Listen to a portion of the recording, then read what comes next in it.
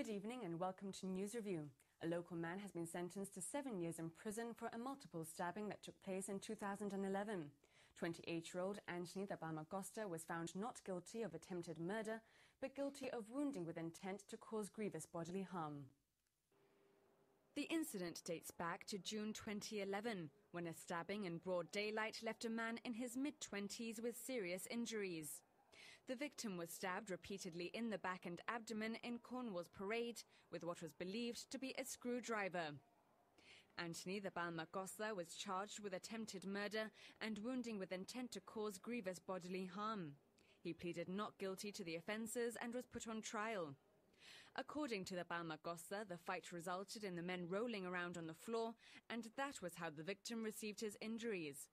The jury found him not guilty of attempted murder, but a 7 to 2 vote from the jury found him guilty of causing grievous bodily harm with intent.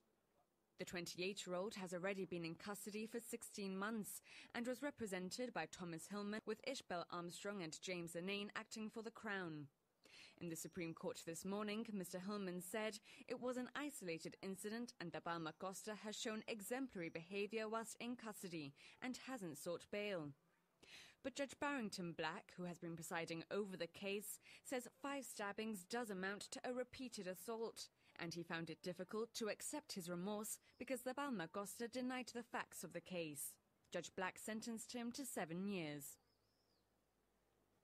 David Cameron sent a message of support for the people of Gibraltar on National Day, praising the enormous dignity shown in the face of months of pressure from Spain. The Prime Minister said the government and people of Britain stand with Gibraltarians, calling for an end to the unacceptable border delays caused by the Spanish authorities. In a video message, he spoke to 10,000 people at Casemates and many more watching live on GBC. I am delighted to be able to take part in the celebrations of Gibraltar's National Day. Britain and Gibraltar have a long and proud history. For 300 years, we have stood together as one with our shared sovereign. Today, your flag flies over the Foreign Office in London. The people of Gibraltar have faced the pressures of recent months with enormous dignity. Let me assure you that the British people and my government stand with you now. Our relationship is solid, sure, and enduring. On this Gibraltar National Day, the British government wholeheartedly supports your right to determine your political future. As I've said before, we will never agree to any transfer of sovereignty or even start a process of negotiation of sovereignty without your consent. And I wouldn't want us ever to go down that route. Gibraltar has been British for 300 years. Let's keep it that way. And as we celebrate today, let us all remember that Spain is our neighbour and thousands of Spanish people are welcomed by you to work in Gibraltar. I know many of you have close family and friends in Spain.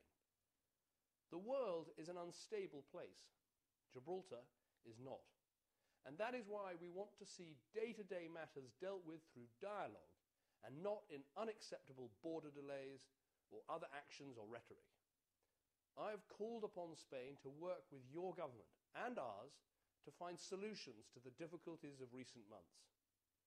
Today, let us look to the future and to a confident, flourishing, secure Gibraltar with good, constructive relationships with all its neighbours in the region, north and south. That way, everyone wins. So enjoy a great celebration and party today. Happy National Day, Gibraltar.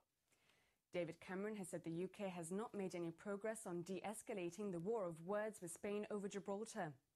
The Prime Minister told the House of Commons on Monday that the UK should not only continue to defend absolutely to the hilt Gibraltar's right to decide its own future, he said the UK also wants to see good and strong relations in the region as well. The Prime Minister said he was sure that everyone in the House would welcome Gibraltar's National Day, as Britain and Gibraltar share a sovereign and a future together. Meanwhile, the Chief Minister welcomed leaders of the British Overseas Territories to Gibraltar on Monday. They were invited for the first time ever to attend the National Day rally. They attended a pre-joint ministerial council at number 6 Convent Place in preparation for the meeting all the overseas territories governments will have with the UK government at the end of this year. Those present in Gibraltar for National Day were Hubert Hughes from Anguilla, Bermuda's Craig Cannonier, Orlando Smith of British Virgin Islands, the Cayman Islands Alden McLaughlin, Ian Hansen of the Falklands, Reuben Mead of Montserrat, Simon Young of Pitcairn, and the Turks and Caicos Rufus Ewing. The Liberal Democrat MEP for Gibraltar, Sir Graham Watson, called on the European Parliament to join him in expressing solidarity with the people of Gibraltar. His intervention in a debate on the rights of third country nationals to cross EU borders was met with hearty applause. Sir Graham told the Parliament the rights of 30,000 full EU citizens were being systematically and unjustifiably restricted by Spain and asked it to express its outrage. President, we just debated the issue of third country nationals crossing EU borders. I have 30,000 of my constituents whose right to free movement in the Union is being systematically and unjustifiably denied. And since today is Gibraltar's National Day, I hope that you and the House will join with me in sending a message of solidarity to the people of Gibraltar, a message of dismay uh, at the border controls being imposed and of outrage at the intemperate comments of Mr. Garcia Margallo. And a Spanish MEP has responded to Graham Watson's statement. Luis de Grandes Pascual says Sir Graham fraudulently bent parliamentary rules to raise the Gibraltar issue, although the President of the European Parliament then pointed out Mr. Grandes Pascual had brought up the issue again himself. Es una cuestión muy breve y de orden.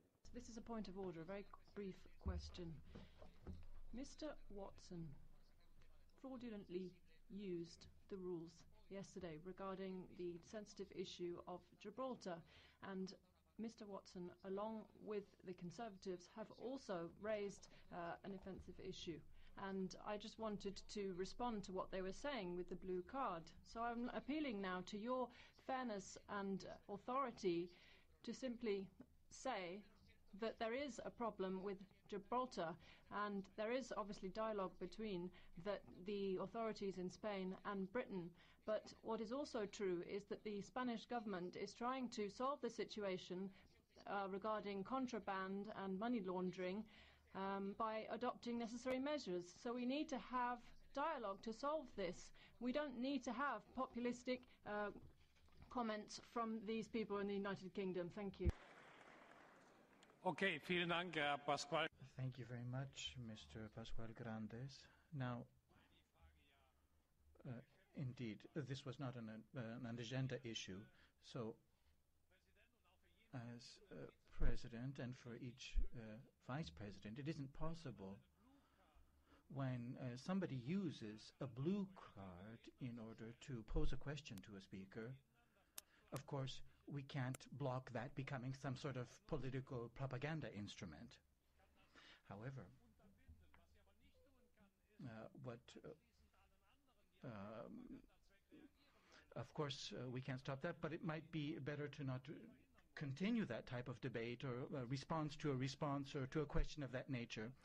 So uh, uh, I uh, gave you the floor, uh, but uh, to speak about something that was on our agenda right now, but you spoke about uh, Gibraltar, but that's something that involves Spain and the UK, and that is not part of our debate at this moment. There's still no date for the visit by European Commission experts to the frontier. According to news agency Europa Press, Brussels is waiting for the Spanish government to tell them when they may come. It says EC's sources have declined to comment on whether the delay is due to differences over the remit of the mission. Spain at first said the experts would have to investigate Spanish concerns like the artificial reef as well as the frontier controls. But earlier this month, an EU spokesman clearly stated the investigation would centre only on frontier related matters.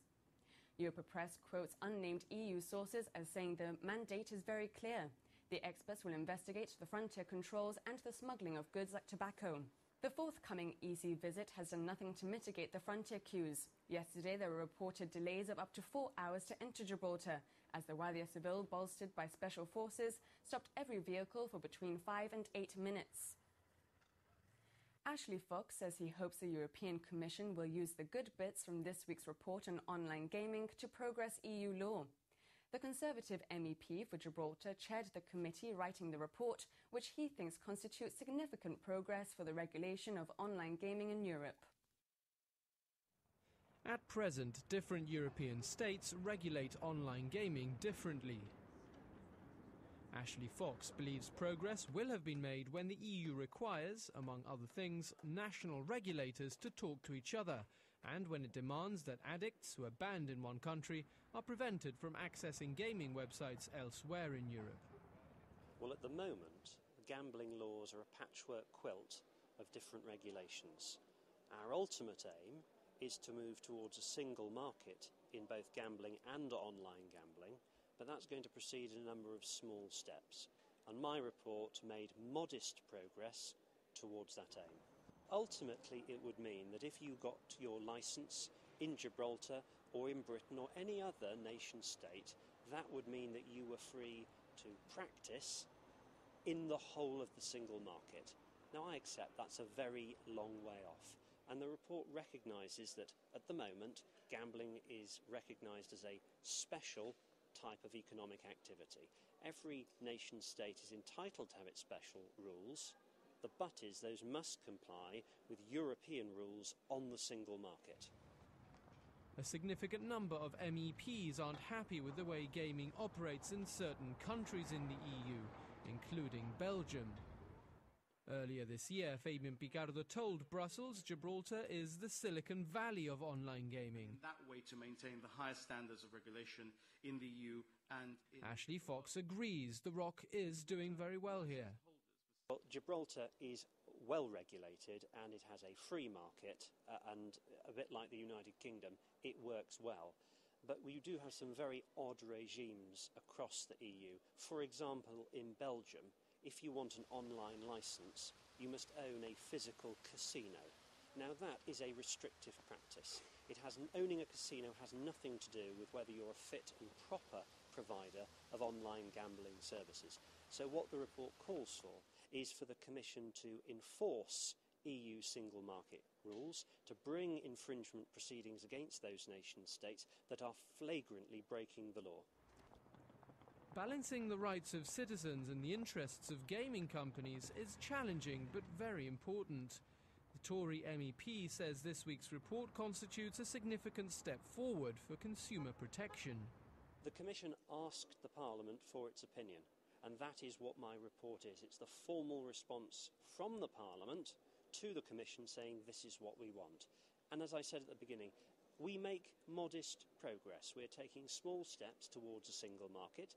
I welcome the adoption of the report, but if you want to be critical, you can go through it and find plenty of silly stuff, but that's just the nature of politics in this place. The report on online gaming in Europe has been submitted to the European Commission, who will now consider what changes might be made to EU legislation to ensure the EU does indeed function as a single market. And we'll be back with more of this week's news after the break.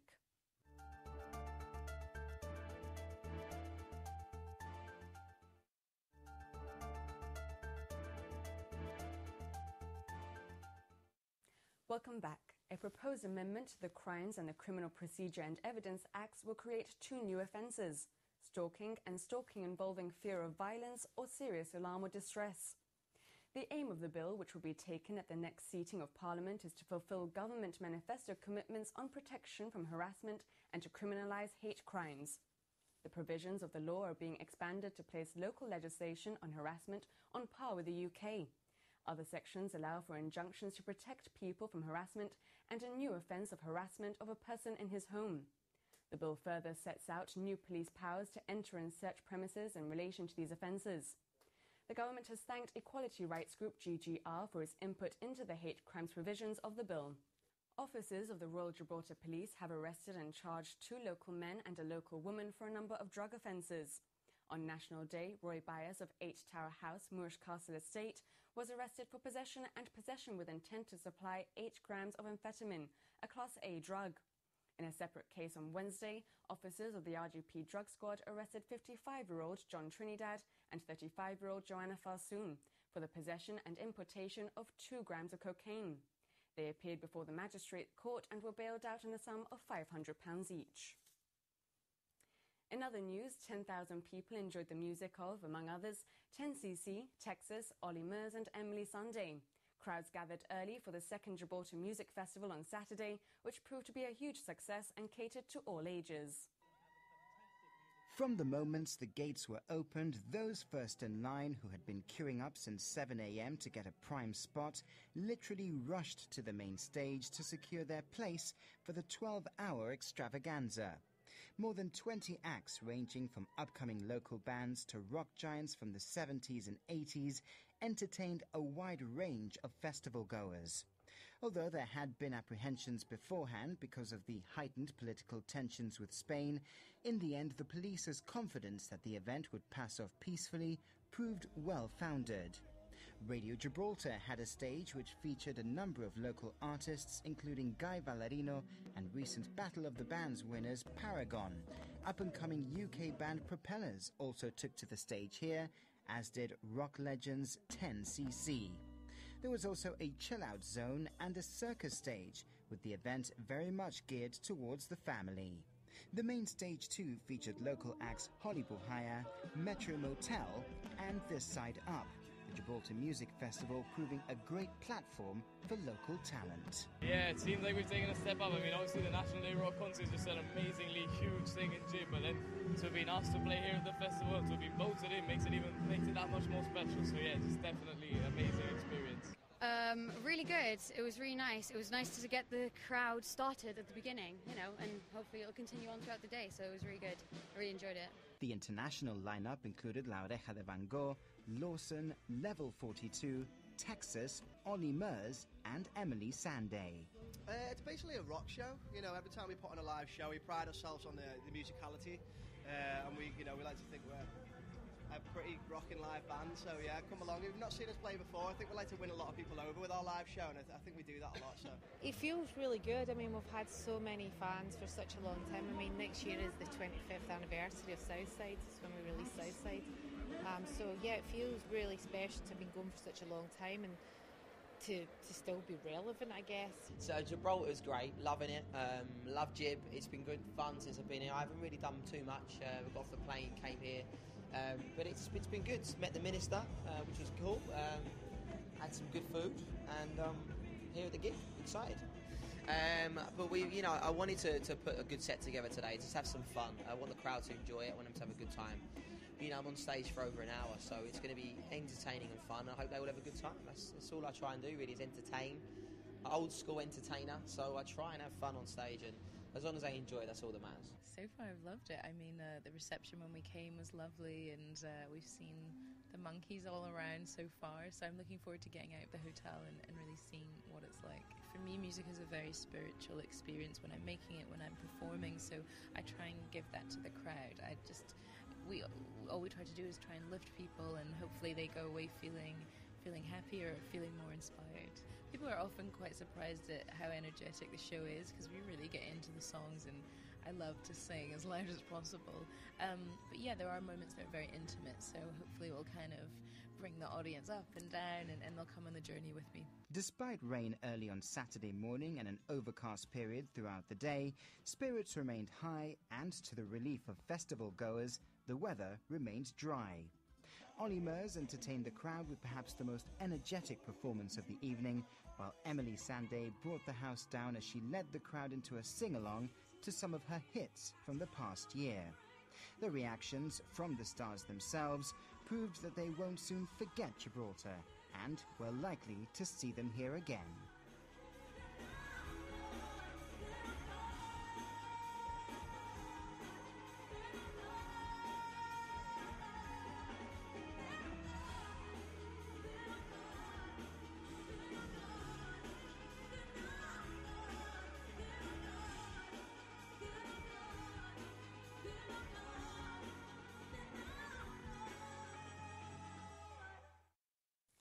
Tickets for this year's Jazz Festival are now on sale.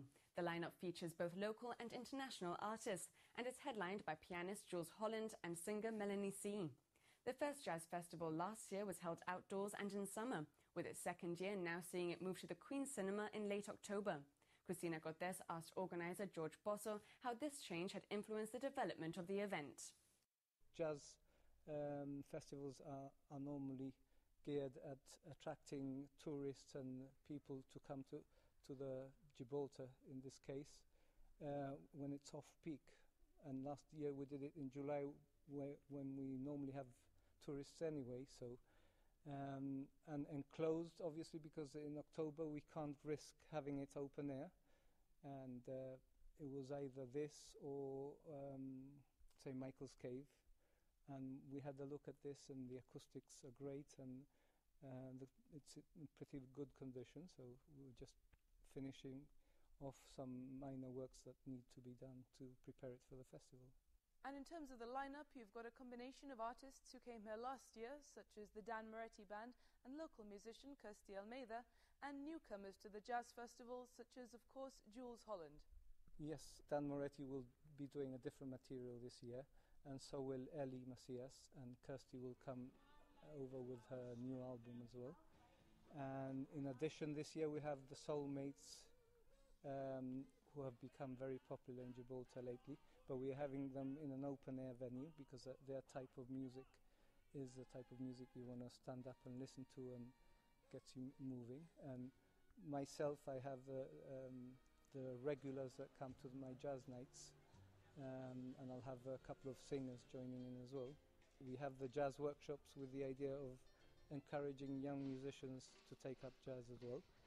And um, well, we have Jools Holland, who is not strictly jazz. He's uh, rhythm and blues and uh, um, very popular.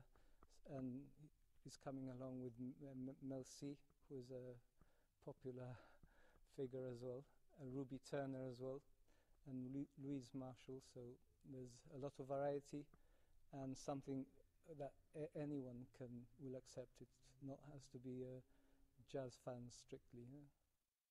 GBC has revealed its TV schedule for the autumn. The schedule includes some new programs and the return of others. The first installment of a two part documentary on the current tensions with Spain aired on Thursday. Viewpoint returns next week, while Talk About Town, co presented by James Nish and Richard Cartwright, will start again later this month. The weekly magazine show, now called The Hub, will broadcast live on Wednesdays as from October, with documentaries on ghost hunting and natural history also in the pipeline. Also, as of this week, iPhone and iPad users can keep up with local news on the go with our free GBC News application. An Android version will also be available. The app, which may be downloaded from Apple's App Store, brings you the stories featured on GBC's website, updated in real time.